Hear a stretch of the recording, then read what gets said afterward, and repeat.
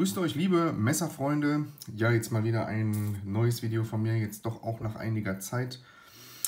Ähm, es geht um, ihr seht es im Videotitel, um das Bird Kara Kara 2, aber halt auch um mein Arbeitsmesser. Ich habe bisher ein sehr, sehr günstiges äh, Firebird Ganso äh, Messer genommen, jetzt über einige Jahre sogar auch.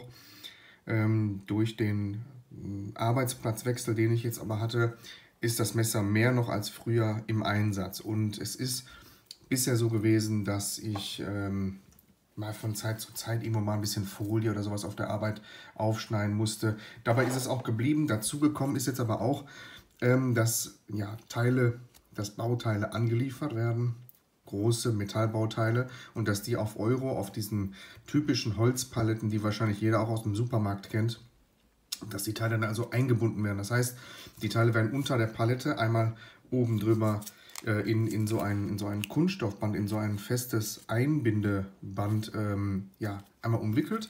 Dann wird das Band so aneinander gehalten und dann mit einem Gerät miteinander verschmolzen. Das sieht man so ansatzweise hier. Und dann sind beide Oberflächen miteinander fest verbunden. Das hält dann auch sehr gut. So, wenn man dieses Band jetzt also aufschneiden möchte, ich zeige euch mal die Schnittstelle dann seht ihr auch vielleicht oder ihr könnt es so erahnen, das ist schon ein ziemliches Sauzeug. Also so natürlich biegsam, aber ansonsten schon echt ein richtig festes Plastikzeug. Also nicht irgendwie nur so, ein, ja, nur so eine Blisterverpackung oder sowas. Ähm, das Problem war dann, dass ich dann mit diesem Ganso-Messer, das eigentlich mit einem 440C Klingenstahl ausgerüstet sein soll, wie gesagt, über eine, oder habe ich noch nicht gesagt, über eine chinesische große Webseite habe ich das mal im Sale bekommen, ich meine für 6,50 Euro oder um die 7 Euro. Das war natürlich okay, da, da tut auch sämtlicher Use und Abuse irgendwo nicht so wirklich weh. Ich habe es jetzt auch nicht irgendwie sauber gemacht, ich habe es die ganze Zeit halt immer so in der Arbeitstasche und dann kommt dann halt auch mal Staub und auch mal ein bisschen Dreck dran. Allerdings, wie gesagt, wenn ich diese, diese Kunststoffbänder aufgeschnitten habe, dann hat die Schärfe doch meist schon nach dem ersten Schnitt schon, schon ziemlich gelitten. Normalerweise sieht man das auch auf der, auf der Schneidphase oben drauf hier so ein bisschen zu sehen. Also die, die legt sich nicht komplett um, aber dies, es wird auf jeden Fall relativ schnell stumpf. Also mit der Standhaftigkeit dieses 440C, ich denke mal schon, dass einer ist, aber vielleicht ähm, hat man da mit, mit der Härtung oder so nur bei dem oder bei dieser Serie oder bei dem Stahl, wenn man das Ganze dann weiter spinnt, vielleicht nicht so viel Glück gehabt, um es mal ähm, sanft auszudrücken. Ansonsten Starliner unterlegt, diese ja, FRN, wahrscheinlich nicht irgendein Kunststoff. Ähm, Anlehnung, äh, designmäßig brauchen wir nicht drüber reden, aber eben für, für 6, 7 Euro passt das normalerweise. Ähm, ja, dann habe ich halt mal angefangen so ein bisschen zu suchen. In letzter Zeit bin ich, äh, was Spyderco betrifft, ziemlich ähm, drauf fixiert. Also im Moment habe ich Spyderco echt gerne in der Tasche, in der Hand und sonst wo. Aber dann wäre mir der Preis wahrscheinlich doch äh, zu hoch gewesen, das dann als Arbeitsmesser dann irgendwo zugeben und missbrauchen. Deswegen wollte ich was Größeres, äh, was Stabiles haben. Und dann fiel mir bei Selected Knives, um jetzt mal die kurze Werbung aber zu machen, ein Messer ins Auge, wonach ich auch im Großen und Ganzen gesucht habe. Und zwar das Kara Kara von Bird. Also Spyderco's Budgetlinie Bird 8CR13 MOV, dieses Birdie Hole. Und der eine oder andere sagt jetzt, ja Moment mal, ich kenne doch das äh, Bird Caracara, das hat doch eine ganz andere Klinge. Das hat einen Vollflachschliff und so eine Art Leaf Blade, also so eine Drop Point Klinge. Ich muss zugeben, ich weiß auch nicht genau, um welches es sich hier handelt. Ob es das, das ganz alte Bird Caracara Modell ist ich äh, habe das gesehen bei Selected Knives, es war noch eins da und ja, mein Gott, für 37 Euro für so ein großes Gerät, da beißt die Maus keinen Faden ab. Dann habe ich kurzerhand gesagt, yo, nehme ich. Und das kam dann aber halt auch nicht, ähm, um euch das nochmal kurz vorher zu zeigen. Ihr kennt ja, okay, Spider-Co-Verpackung ist hinlänglich bekannt. Die Bird-Verpackung halt, ähm, ja, relativ ähnlich. Also die kannte ich bisher eigentlich auch nur und ich habe es gerade schon mal kurz gesehen, es kam dann aber so eine, so eine Blisterverpackung irgendwo für, für, den, für den Supermarkt, äh, um das Ding irgendwo anzeigen. Sieht so ein bisschen nach Walmart oder so aus. Ähm, das kam jedenfalls damit und dann war ich ja erstmal verwundert und denke, hm, was ist das? Ähm, zumal ja auch die Klingenform dann irgendwie doch abweichend war. Der Griff selber äh, ist wohl ziemlich identisch. Fast. Äh, da gehe ich gleich nochmal drauf ein. Also wie gesagt, ich wusste jetzt gerade auch nicht so recht, da was mit anzufangen. Das BY03GP Caracara, kurz, kurz erläutert. Hinten drauf noch ein Text. Bird Knife Limited Warranty. Ja, und Spider Coway. Also das sieht alles schon gut aus. Wie gesagt, war mir nicht so bekannt. Ähm, genauso wenig, äh, wenn ich dann später nochmal danach ja, geschaut habe, äh, das so ein bisschen versucht habe, nochmal nachzuverfolgen. Ähm, auch die Klingenform war mir so nicht bekannt. Die Griffform unterscheidet sich. Wir haben hier an dem geschwärzten Clip, okay, ähm, hier Beschichtung oder wahrscheinlich lackiert, äh, kann man sich wohl ziemlich in der Pfeife rauchen. Ja, also das ist nichts Dickes, das geht relativ schnell ab. Besonders aber diese Philips-Schrauben äh, dran.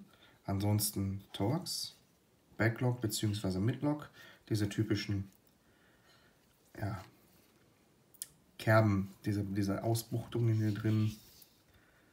G10-Beschalung, ja, günstiges, einfaches G10, nichts Besonderes. Das findet man aber auch ähm, bei einem Messer wie dem Spyderco Tenacious. Da ist das auch äh, kein, kein Grip-Wunder oder dass es jetzt haptisch so richtig viel hergibt. Aber das ist okay. Stahlleiner unterlegt, skelettiert. Hier eine ja, standardmäßige Rückenfeder hier in der Mitte drin verbaut für diesen Midlock oder Backlock. Ja, und dann wie gesagt die Klinge, 8CR13 MOV, Bird steht drauf. Ja, und dann halt diese, diese Vogelschnabelklinge Saber Grind Hohlschliff. Relativ stabil hinter der Schneidphase, das ist auch gar nicht schlecht. Eben wenn ich solche Bänder schneide, relativ langer Anschliff, also relativ breite Schneidphase selber. Birdie Hole, da musste auch nichts entgratet werden, muss ich dazugeben, äh, dazu sagen. Sonst gab es ja schon mal den Fall, dass ich dann auch schon mal gerne irgendwo den Klingrücken oder das Spidey Hole, beziehungsweise das, das Birdie Hole dann wirklich nochmal entgraten musste, weil, weil man sich sonst einfach die ganzen Fingernägel beim Flippen und Flicken dann kaputt macht. Sehr schöner, glänzender Anschliff. Alles sauber gearbeitet, kann ich nichts gegen sagen. Ich habe hier nur die Platinen innen etwas entgratet. Die waren jetzt nicht wirklich scharfkantig, aber ja schon so kurz davor. Also das war nicht schlimm, äh, hier mal äh, die Dinger, die Kante hier so ein bisschen zu brechen. Das ist einfach ein bisschen angenehmer. Ja, ähm, wie gesagt, ich weiß nicht genau, um welches Modell es sich handelt. Vielleicht kennt ihr euch da oder einer von euch sich da ganz besonders gut mit äh, aus mit Bird und dem Caracara 2. Ob es hier das Caracara 1 ist oder so, ich weiß es nicht. Ähm, es macht generell überhaupt gar keinen schlechten Job. Es ist natürlich relativ stabil gehalten hinter der Schneidphase, denn wir haben eine Anfangsstärke von äh, ja, ziemlich genau 3, 3,02 ähm, mm und hinter der Schneidphase, hinter diesem Hohlschliff, sind es dann immer noch, ups, jetzt sind wir, sind wir schon, ja, 0,85 ja, oder? Ich muss mal einmal seitlich drauf schauen. Ja, 0,85 ungefähr hinter der Schneidphase, also relativ massiv, dennoch relativ schneidfreudig, weil ihr seht es auch hier mit meinem Daumen vor, also eine relativ, relativ breite Schneidphase. Der Stahl lässt sich eigentlich sehr gut auch wieder auf Schärfe bringen. Natürlich ähm, hält auch der 8CR13 auch mit dieser Klingengeometrie auch nicht ewig bei diesem Sauzeug hier. Dennoch ähm, bin ich eigentlich ganz angetan und auch der 440C hiervon ließ sich sehr gut nachschärfen. Allerdings reichte hier meist schon ein Schnitt aus, um dann sagen zu müssen, okay, eigentlich müsste ich jetzt irgendwo wieder auf den Spyderco Sharpmaker. Äh, das muss ich jetzt hier nicht. Das Messer lief es etwas fest, aber das kennt man auch vom Tenacious und auch vom Paramilitary und auch von einigen anderen Messern, die ich von Spyderco oder auch von Bird hatte, dass das erstmal noch so ein bisschen knirschig, schleppend ist. Ähm, und ansonsten, aber jetzt auch mit, mit, einigen, mit einiger Benutzung funktioniert das eigentlich schon sehr gut. Auffällig, wir haben hier echt wenig, wenig, wenig Toleranz nach rechts und links, steht aber ansonsten, glaube ich, ganz anständig, lässt sich auch gut bedienen. Ähm, die Handlage hier, ich packe es also wirklich hier hinten. Es ist ja mehr als genug Platz drauf. Die, die Maße nehmen wir gleich noch einmal zusammen. Das Jimping greift eigentlich ganz gut. Ähm, da gibt es halt das Manix oder ähm, ja, die, die UK-PK-Modelle, das, das Dragonfly, die haben schon noch ein etwas feineres, aber dafür etwas bissigeres Jimping. Aber auch das hier funktioniert echt gut. Dadurch, dass wir ja auch eine relativ hohe Rampe haben, äh, findet der Daumen hier vor auch gut Platz und man hat einfach einen sehr guten Griff in diesem, in diesem Pariergriff. Man kann hier noch in den Foregrip gehen. Natürlich muss man es jetzt ja nicht unbedingt, aber gut, die Möglichkeit ist da und es ist so dieser 50-50-Choil hier vorne. Ähm, das ist also alles alles gut, denke ich. Ein guter, guter Arbeiter. Natürlich, es gibt immer dann wieder Messer mit dem S90V, S110V, S30V. Wahrscheinlich viele, die einfach die, die Schärfe länger halten, auch bei, bei solchen Schneidaufgaben oder bei festen Kartons, die ich auch schon mal aufschneide auf der Arbeit. Und naja, aber dennoch bin ich jetzt erstmal nicht ähm, ja, enttäuscht. Überrascht sowieso nicht. Der 8CR13 ist ein, ist ein guter, tauglicher Alltagsstahl, relativ rostträge. Hier auch noch mit einem relativ schönen Äußeren und mit einem schönen Glanz. Ähm, ja, und von daher ist das jetzt also jetzt seit ich sag mal, zwei oder drei Wochen natürlich auch erst der, der Begleiter auf der Arbeit, aber zumindest um euch ein Feedback geben zu können, grundsätzlich erstmal ähm, bin ich damit nicht unzufrieden. Die Klinge, wie gesagt, Wahrscheinlich dann aber auch aufgrund der Klingengeometrie, dass sie, dass sie die Schneidphase dann etwas, etwas besser hält als dann hier mit dem, mit dem Full Flat Grind, die dann halt auch deutlich feiner ausläuft. Aber da ist dann auf der Arbeit vielleicht doch ein bisschen was, bisschen was Festeres vonnöten. Ja, ansonsten der Lock, die, der Hebel ähm, fährt jetzt nicht zu weit raus, okay, aber hält. Also da gibt es kein Klingenspiel oder sonst irgendwas.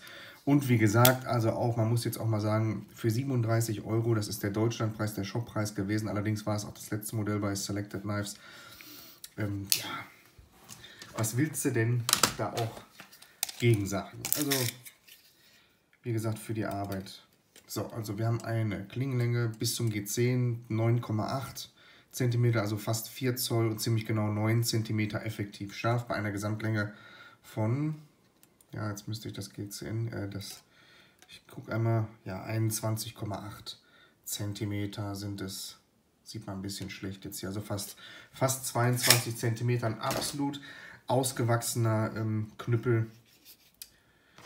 Leine, ich weiß gar nicht, kann ich da mal irgendwo messen? Ja, so ungefähr, na, so knapp 1,8 mm, knapp 2 mm ähm, haben die Platinen die Liner, ja die Platinenanstärke. Ein durch und durch gutes Messer, dass man, ich denke, natürlich irgendwo auch als Sammler, als Spyderco-Freund ist das was, ähm, aber ich denke auch relativ robust. Da ist kein Liner, der nach innen, nach außen rutscht, kein Framelock, sonst was.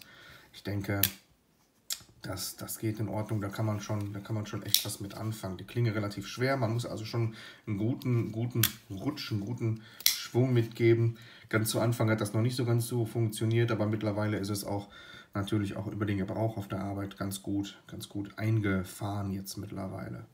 Jo, ähm, Gewicht noch. Das ist sicherlich nicht zu gering. Ich muss mal eben gucken, wo meine Waage ist. Ah, das ist sicherlich nicht zu gering.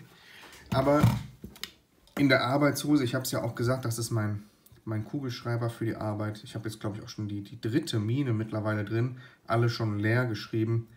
Hier, diese, diese, dieser, dieser Glanz, diese, dieser Abrieb entsteht übrigens nicht durch andere Metallteile in der Hosentasche, sondern tatsächlich durch so einen, durch so einen äh, Marker, durch so einen Neonstift.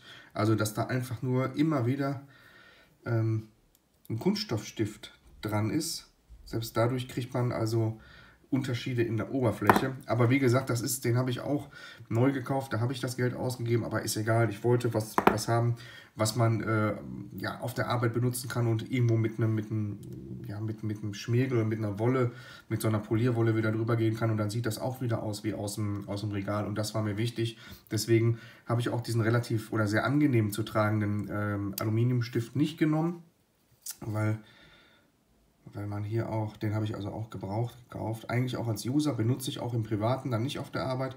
Den habe ich dann so mit, ähm, dass dann diese DLC-Beschichtung doch schon mal ab, abgehen könnte. Und auf der Arbeit ähm, lege ich dann auch schon mal ähm, den Stift dann unbedacht mal weg oder auf, auf die Messplatte, die ist aus Metall, ähm, dann auf dem Messtisch, dass ich das dann einfach schon mal hinlege und dann irgendwo zugange bin. Und ähm, ja, da passiert halt nicht so viel mit. Und deswegen ist es auch überhaupt nicht schlimm, dass dieses Messer sicherlich auch ein paar Gramm wiegt. Ich weiß es nicht, ehrlich gesagt, das werden wir jetzt sehen. So, wir haben 0. Oh, gute 125, knapp 130 Gramm. Und äh, gut, der Knoten hier, ne, das, das, das bleibt zu vernachlässigen, denke ich. Ähm, ja, also die Caracara-Modelle kosten im günstigsten Fall irgendwo Ende 30 und das geht schon, glaube ich, bis 60, 70 Euro. Ich habe sogar auch eins mal für, für 69 ähm, oder so gesehen. Das kann auch schon mal was teurer sein. Ob es sich dann noch so sehr lohnt, muss dann jeder für sich selbst entscheiden. Hier, wie gesagt, 37 Euro und äh, dann auch diese etwas andere Klingenform und die natürlich jeder Anschliff hat mich dann doch äh, gereizt und naja, also ich denke mal, dafür geht's. Ja, sonst würde ich, würd ich sagen, man schaut vielleicht, dass man so vielleicht für über 40, so an die 50, das ist absolut okay. Ähm, Tenacious ist ja auch nicht günstiger und auch da ist der Stahl der gleiche. Von daher ist Bird auf jeden Fall da eine, eine gute, Alter, gute, günstige Alternative. Jo, so viel zum Bird Caracara. Wie gesagt, ähm, wenn sich da einer wirklich gut mit auskennt oder wenn da einer Bescheid weiß, da es ja sonst nur diese andere Klingenform gibt und den anderen Vollflachschliff und dann hier dieser Saber Grind, sagt mir doch bitte Bescheid. Ähm, schreibt mir das mal in die Kommentare. Ja, ansonsten bedanke ich mich fürs Zusehen und ähm, ja, bleibt gesund, ganz wichtig und dann bis zum nächsten Video. Ich wünsche euch noch einen schönen Tag. Tschüss.